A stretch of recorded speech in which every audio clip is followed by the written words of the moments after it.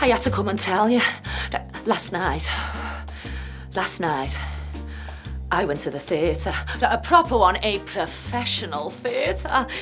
Me go to the theatre? God, no, I detest the theatre. Do, do, you know, I thought that it was going to be dead boring, but it wasn't. It was brilliant. Look, I went out and I bought the boogie. Wasn't his wife a cow? Do you know something, Frank? I am having the time of my life. You know, I am, you know. I even feel young, you know, like the proper students. What was my essay like? Oh, it, um, it wouldn't look out of place with these. Honest? Dead.